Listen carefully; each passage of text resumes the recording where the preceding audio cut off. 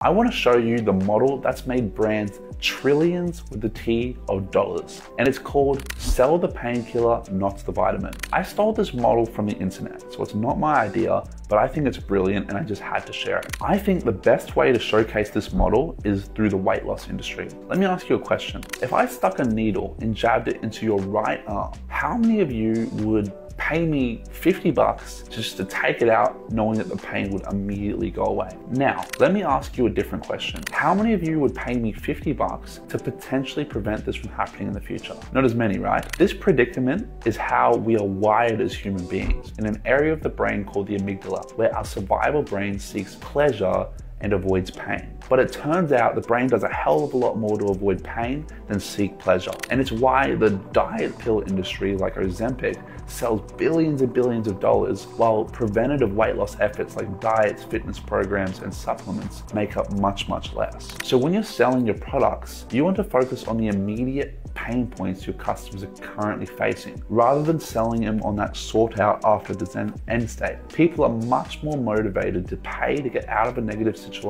than to get into a better one. Sell the painkiller, not the vitamin.